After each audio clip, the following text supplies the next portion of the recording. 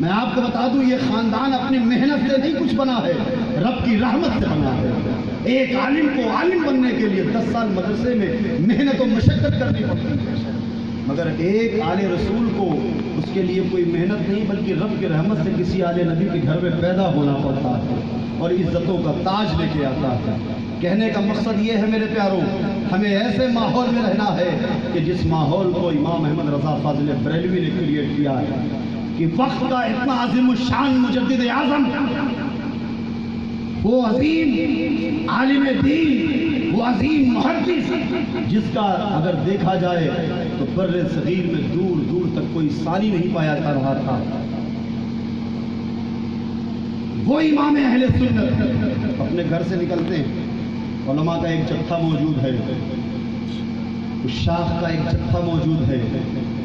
اور ڈولی میں بیٹھ کے جیسے ہی آپ اس قدم پہ چلے، فوراً آپ نے آواز دیا ٹھہرو! نیچے رکھ دو ڈولی، پالکی کو نیچے رکھو۔ وقت کا امام! امام احمد رضا خان، علیہ رحمت و رضوان، دونوں ہاتھ جوڑے، علماء کی صف میں ایک کے بعد دیگرے کے پاس روتے ہوئے بڑھ رہے ہیں۔ اور رو رو کے کہہ رہے ہیں، خدارا، جلدی بتا دو تم نے آل رسول کو خدا خدارا، جلدی بتا دو تم نے حضور گھرانے کا کون ہے؟ مجھے خوشبوئے جانا آ رہی ہے۔ علماء دیکھ کے وقت کے ایمان کی حالت زارو قطار رو رہے ہیں کہ اتنا شاندار، اتنا زبردست عالم دین کہ جس کی پیروی کل علماء کرام فرما رہے ہیں، وہ ہاتھ جوڑے زارو قطار رو رہے ہیں۔ ایک کے بعد دوسرے کے پاس بڑھ رہے ہیں۔ خدارا بتاؤ، کون اس میں ہے جو میرے رسول کے گھرانے کا ہے؟ مجھے خوشبوئے رسول آ رہی ہے۔ سارے خاموش رہے، لوگوں کو سسکیاں بن گئی، ایک مزدور جو اعلیٰ حضرت کی پالکی کو اٹھایا تھا، اس نے آواز دیا، حضرت، مزدور سے اس کی محنت پوچھی جاتی ہے، اس کی محنت دیکھی جاتی ہے، اس کا خاندان حسب نصب نہیں، لیکن آپ ہمارے عالم دین ہیں، آپ وقت کے امام ہیں، آپ مجدد اعظم ہیں، میں آپ کا نوکر ہوں، میری غیرت نے قبول نہ کیا کہ آپ رو رو کے پوچھ رہے ہیں اور میں چھپتا رہوں، خاموش کھڑا رہوں میری غیرت نے قبول نہیں کیا۔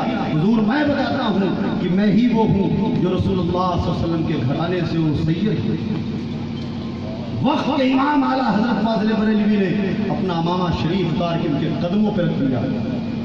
اور کہا، شہزادے، رو رو کے کہا، شہزادے خدارا جلدی زبان سے کہہ دو کہ احمد رضا میں نے تمہیں معاف کر دیا، ورنہ اگر ان لمحات میں مجھے موت آئی تو کل حشر کا میدان ہوگا۔ ساتھی حوض کوثر ہوں گے اور مجھے دیکھ کے کہیں گے کہ احمد رضا خان، کیا میری آل کے کندھے تیری سواری کے لیے بنے تھے؟ تو میں جواب کیا دوں گا۔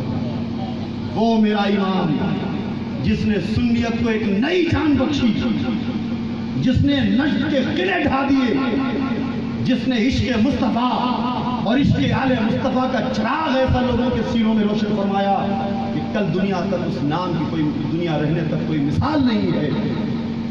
ہمیں اس ذات سے تعلیم لینا ہے کہ آخر چند لوگوں کے بہکاوے میں ہمیں حضور کی اہل بیت سے کیا بغض و حسد رکھ کے اپنا ایمان کھونا ہے؟